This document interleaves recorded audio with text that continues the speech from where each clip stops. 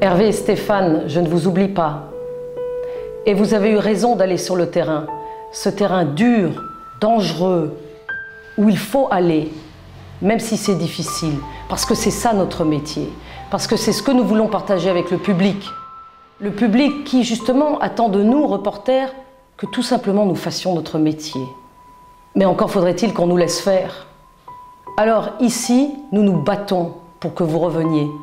Et nous nous battons aussi pour que les reporters continuent à pouvoir faire ce métier, continuent à partager le réel si complexe, si dur, avec ceux qui ont envie de savoir. À bientôt.